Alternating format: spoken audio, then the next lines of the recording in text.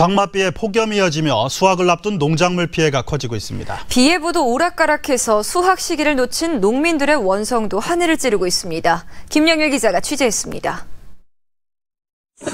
수확을 앞둔 청주의 한 고추밭.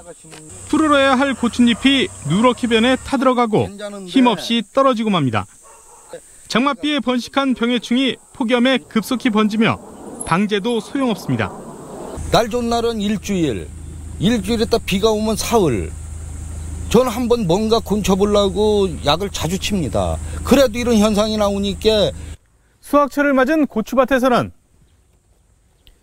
이와 같이 속이 쩍쩍 걸러지는 열과 피해가 속출하고 있습니다.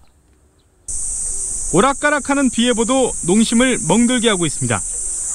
비가 온다고 해 수확을 미뤘더니 변덕스런 날씨에 배추는 모두 물러터져 수확을 포기했습니다.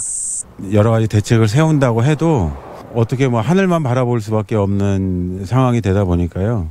인력을 어떻게 감당을 할 수가 없으니까요. 고수익이라고 심었던 콜라비도 그대로 뽑아버렸습니다. 겉은 멀쩡해 보여도 대부분 속이 짓무르거나 썩어 상품성을 잃었습니다. 다시 작물을 다른 작물 대체 작물 또 심어야 되니까 천에 비는 짐에 좀 쓸만한 걸 나오면은 골라서 출하한다고 지금. 본격적인 수확철을 맞았지만 오락가락 변덕스러운 날씨에 1년 농사가 헛농사가 됐습니다. MBC 뉴스 김영일입니다.